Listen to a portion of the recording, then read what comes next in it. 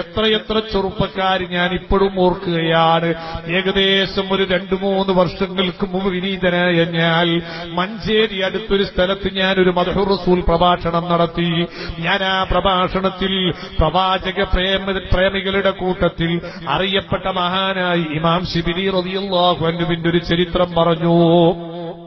അള്ളാഹുവിന്റെ ഹബീബിനെ ഇഷ്ടം പോലെ സ്വപ്നം കണ്ട മഹാനാണ്.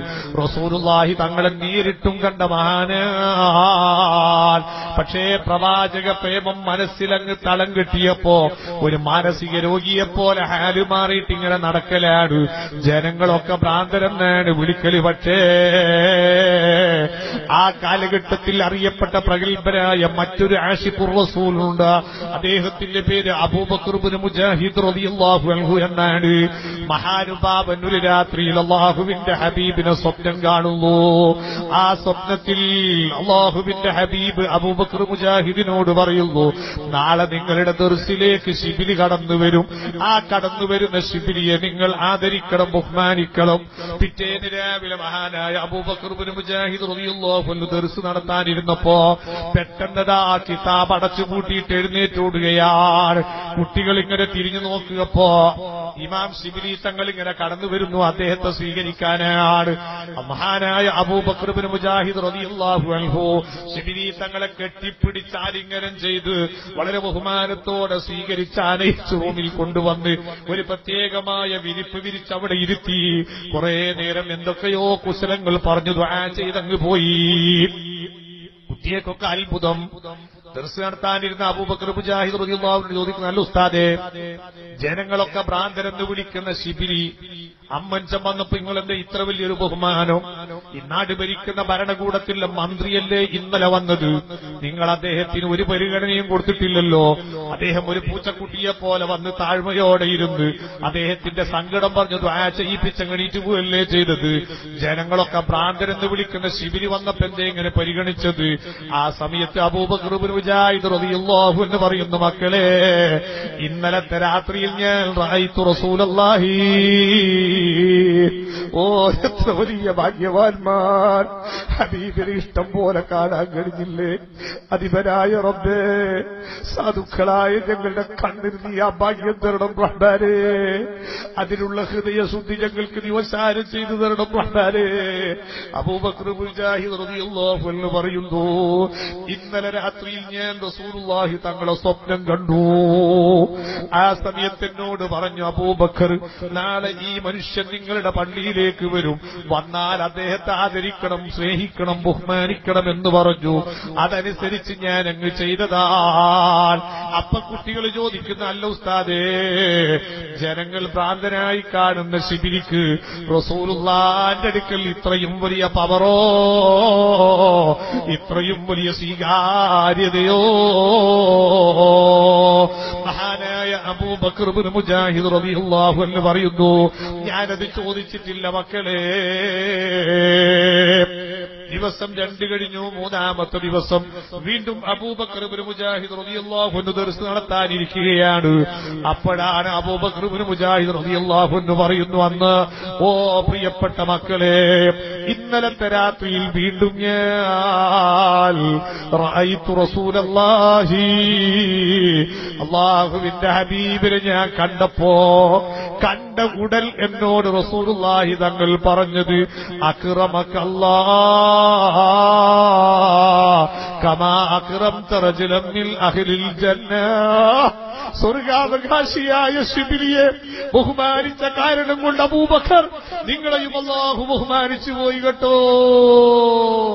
ആ സമയത്ത് ഞാൻ ഹബീബിനോട് നിങ്ങളുടെ സംശയം ചോദിച്ചു. ജനങ്ങളൊക്കെ ഭ്രാന്തനെന്ന് വിളിക്കുന്ന ശിബിരിക്ക് എന്തേ തങ്ങളുടെ അടുക്കൽ ഇത്ര വലിയ പരിഗണന? ആ സമയത്ത് റസൂലുള്ളാഹി തങ്ങൾ എനിക്ക് തന്ന മറുപടി അബൂബക്കർബിൻ മുജാഹിദ് റളിയല്ലാഹു അൻഹു ആ കുട്ടികൾക്ക് പറഞ്ഞു കൊടുക്കുന്നു. എന്റെ കരളിന്റെ കഷ്ടങ്ങളായ ചെറുപ്പക്കാരെ എന്റെ എന്റെ പ്രിയപ്പെട്ട കാരണവന്മാരെ എന്റെ കൊച്ചരിജത്തിമാരെ ഉമ്മപങ്ങന്മാരെ S S F Cherthala division സംഘടിപ്പിച്ച ഈ നബിദിന സംഗമത്തിൽ അതേ നിങ്ങൾക്കൊരു ഗിഫ്റ്റായി കൊണ്ട് ഞാൻ തിരിച്ചങ്ങോട്ട് തരട്ടെ.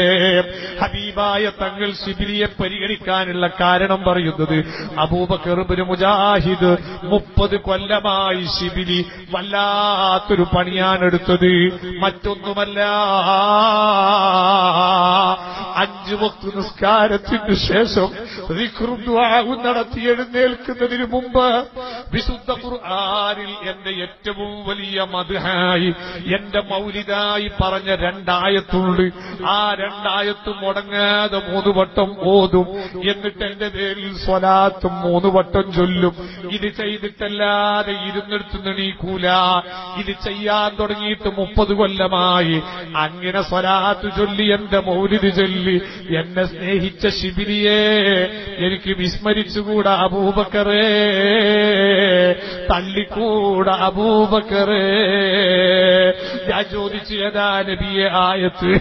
റസൂലുള്ളാഹി തങ്ങൾ ഓതി എനിക്ക് കേൾപ്പിച്ചു തന്നു. സൂറത്തുൽ ബറായിയുടെ അവസാനത്തെ രണ്ടായത്ത് അഊദു ബില്ലാഹി മിനശ് ശൈത്താനിർ റജീം.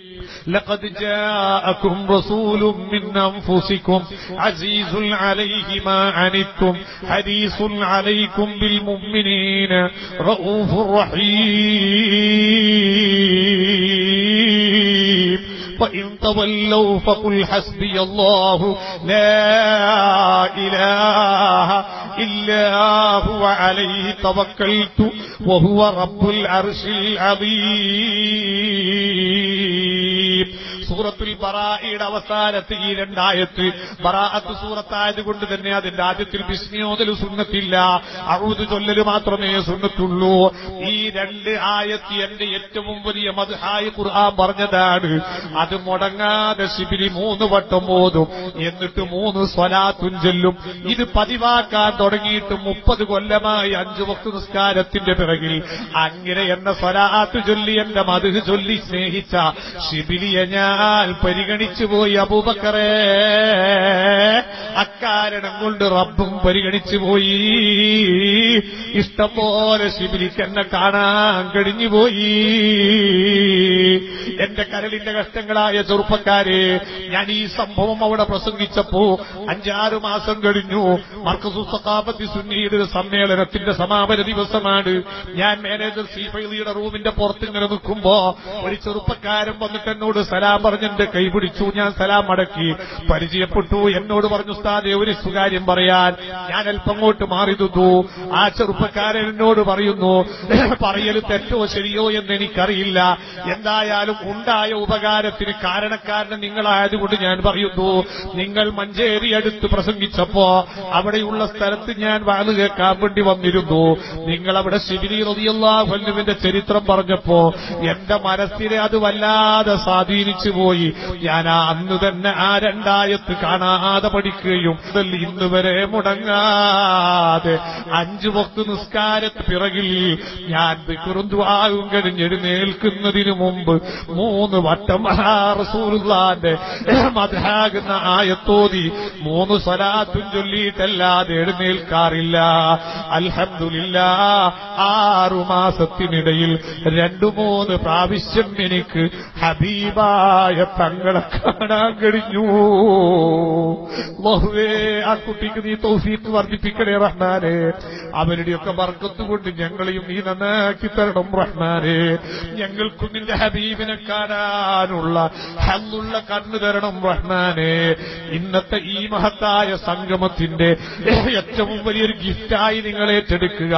ഈ ആയത്തൊന്ന് കാണാതെ പഠിച്ച് ഇനി മുതൽ അങ്ങോട്ട് അഞ്ചു വക്തു നിസ്കാരത്തിന്റെ പിറകിൽ ദുആവും കഴിഞ്ഞ് എഴുന്നേൽക്കുന്നതിന് മുമ്പ് ഈ ആയത്ത് രണ്ട് വട്ടം മൂന്ന് വട്ടം ഓതുകയും അറിയാവുന്ന സ്വലാത്തൊരു മൂന്ന് വട്ടം ചൊല്ലുകയും ചെയ്ത് അതൊന്ന് പതിവാക്കിക്കോ. ഉറപ്പാണ് ഹബീബിനെ കാണാം. അള്ളാഹു നമുക്ക് തൗഫീക്ക് നൽകട്ടെ.